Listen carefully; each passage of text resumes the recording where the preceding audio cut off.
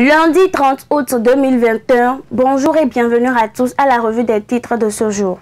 Le confrère de la matinée titre en manchette. Éliminatoire de la Coupe du Monde de football 2022, zone Afrique deuxième tour, Madagascar Bénin ce jeudi, les écureuils à la croisée des chemins.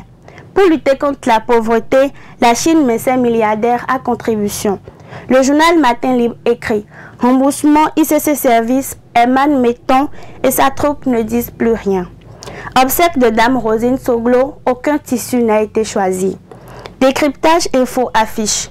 Sommet G20 Compact with Africa, la, vice-présidente Mariam Talata présente les attentes du Bénin.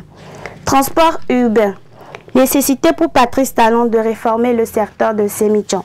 Le quotidien La Dépêche met à la une non-promulgation de la loi 2015-2019 et son application, les agents contractuels de l'État victimes d'une grosse injustice.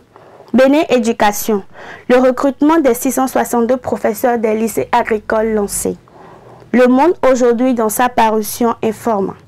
Dossier de fraude douanière à la frontière, il a conduit tout sur l'implication du CB Archil à l'Ossogbe.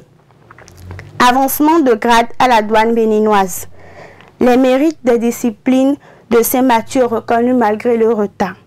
Le journal Gaskiani informé en manchette. Lutte contre la corruption, un échec programmé. Économie locale, tout savoir sur la commune de Toviclin. On finit avec le quotidien Émergence Info qui met à la une.